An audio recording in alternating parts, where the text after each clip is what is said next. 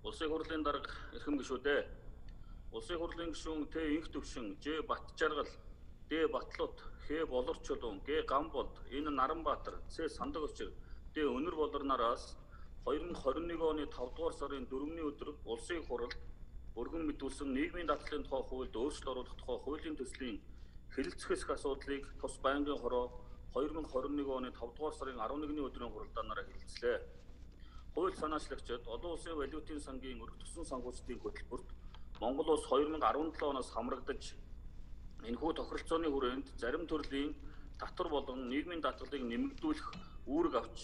нийгмийн даатгалын шимтгэлийг 2018 онд 2%, 19 онд 1%, 20 онд 2%-аар өсгөн хуульчилсан нь нийгмийн даатгалын тогтолцоог бэхжүүлэх, нийгмийн даатгалын санд ачаал үзүүлэхгүй байх ач холбогдолтой шийдвэр байсан ч цар тахлын үед аж ахуй нэгж байгууллага иргэдийн ашиг орлого нь буурч татврын ачаалал үүсгэж байгаа тул нийгмийн даатгалын шимтгэлийг тодорхой хувиар бууруулах саналыг төсөлд тусган боловсруулжээ. Хуулийн төсөлд ажил олгогч болон даатгуулагчаас төлөх тэтгэврийн даатгалын шимтгэлийн 9.5%-ийг 2021 оны 7 дугаар сарын 1-ний өдрөөс эхлэн тус бүр 8.5% болгон бууруулахаар тусгасан бөгөөд хуульд энэхүү өөрчлөлтийг оруулснаар иргэд аж ахуй нэгжид үүсэх дарамт багасж ажлын байраа хадгалах цаашид нэмэгдүүлэх боломж бий болно гэж үзжээ. Нийгмийн даатгалын шимтгэлийг хуулийн төсөл заасан хувь хэмжээгээр бууруулснаар нийгмийн даатгалын санд улсын төсвөөс үзүүлэх дэмжлэг нь 2021 онд 94.5 тэрбум, 2022 онд 198.9 тэрбум төгрөг нэмэгдэхээр урдчилсан тооцоолол хийгдсэн ч цар тахлын онцгой нөхцөл байдалд ард түмний эрх ашигын төлөө дээрх арга хэмжээг авч хэрэгжүүлэх шаардлага үүссэн бөгөөд эдийн засгт учирсан бэрхшээлийг даван туусны дараа нийгмийн даатгалын сангийн бие даасан байдлыг бэхжүүлэх бодлогыг үргэлжлүүлэн хэрэгжүүлэх болцоотой байгааг төслийн үзэл баримтлалд дурджээ. Байнгын хорооны уралдаанаар хуулийн төслийг хэлэлцэх үед улсын хурлын гишүүн чин зураг Монгол Улсын засгийн газар нийгмийн дадлын шимтгэлтэй холбоотой үе шаттай арга хэмжээ авч хэрэгжүүлж байгаа бөгөөд уг хуулийн төслийг үндсэн хууль болон төсвийн тухай хуультай зөрчилдөх хэсгийг хянсан талаар улсын хурлын гишүүн Ч Ундрам ажил олгогч болон даатгуулагчаас төлөх тэтгэврийн даатгалын шимтгэлийн нэмэгдлийг хойшлуулах талаар судалсан эсэх.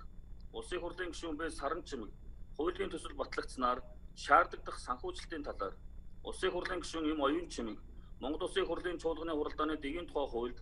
хуулийн төслийг баталснаар улсын төсвийн орлогын хэмжээ буурах, зарлагын хэмжээ нэмэгдэхээр байвал энэ тухай засгийн газрын саналыг заавал сонсно гэж заасны дагуу санал авсан эсэх улсын хурлын гишүүн Д Батлууд хуулийн төслийг хэрэгжүүлэхэд санхүүгийн нэмэлт их усрыг хэрхэн зохицуулах талаар салбарын яамд болон хууль санаачлагчаас асуулт асууж хариулт авлаа. Улсын хурлын гишүүн Чин зураг хуулийн төслийн хэрэгжих хугацааг 2021 оны 1-р сарын 1-ний өдрөөс хэрэгжүүлэх улсын хурлын гишүүн Д Саран гэрэл цар тахлын хүнд үед аж ахуй нэгж байгууллагын үйл ажиллагааг санхүүгийн хувьд дэмжих зорилгоор нийгмийн дадлын шимтгэлээс чөлөөлөх чөлөөлж хөнгөлөх арга хэмжээ авч хэрэгжүүлэх санхүүжилтийн нэмэлт их усрыг олох чиглэлээр ажиллах улсын хурлын гишүүн оюун чимэг хуулийн төслийг хэлэлцэн батлах шаардлагатай бөгөөд хөдөлмөр нийгмийн хамгааллын яам нийгмийн даатгалын тогтолцооны шинжилгээ хүрээнд нийгмийн даатгалын багц хуулийг улсын хурлд яаралтай өргөн мэдүүлж хэлэлцүүлэх талаар тус тус санал гаргалаа.